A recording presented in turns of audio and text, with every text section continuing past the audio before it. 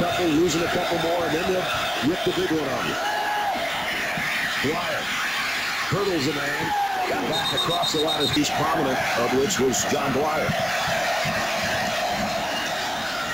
Here's Nesbitt.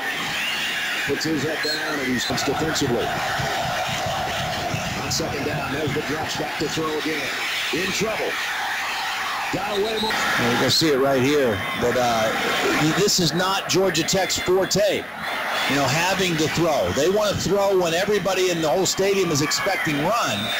Gilbert with the hold on the inside. Again, those big guys are tough to handle.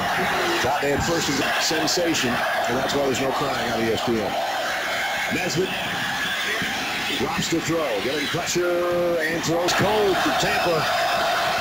So we got a red hot game. And now Clemson's defense another loss of two.